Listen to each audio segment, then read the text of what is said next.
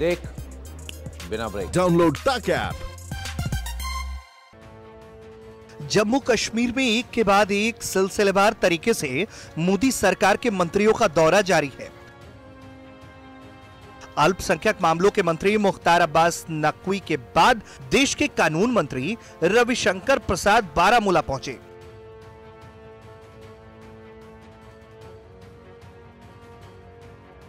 केंद्रीय मंत्री रविशंकर प्रसाद ने बारामूला ज़िले का दौरा किया और स्थानीय लोगों से बातचीत की। इस मौके पर उन्होंने जिला बारामूला का लोगो भी लॉन्च किया।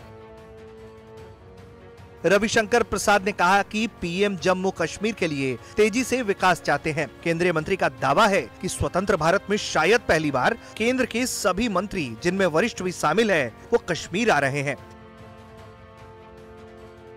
केंद्रीय मंत्री का कहना है कि यहाँ के बच्चे विकास डिजिटल युग और खेल के प्यासे हैं जिनको पूरा केंद्र सरकार करेगी। हमारे प्रधानमंत्री जी ने नरेंद्र मोदी जी ने सारे मिनिस्टर्स को कहा कि आप लोग जम्मू कश्मीर जाओ और वहाँ विकास के लिए कोशिश करो।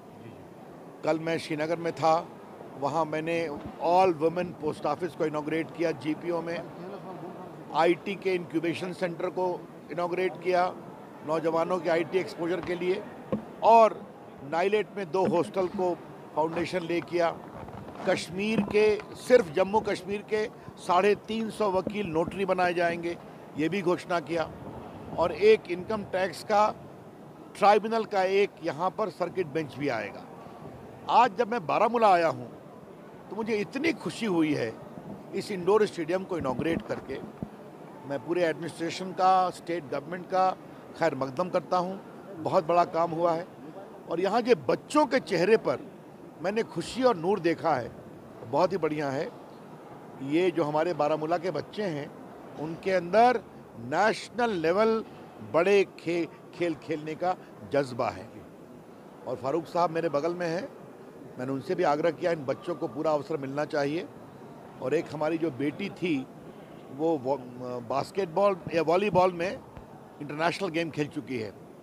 तो हम उसकी भी चिंता करेंगे। आप लोग को बहुत बधाई बहुत बहुत धन्यवाद।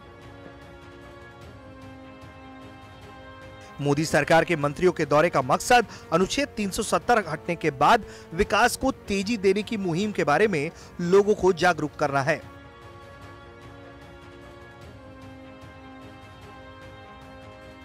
18 जनवरी से शुरू हुई इस मुहिम के तहत अब तक 40 से अधिक सरकारी कार्यक्रम हो चुके हैं और ये लगातार जारी है।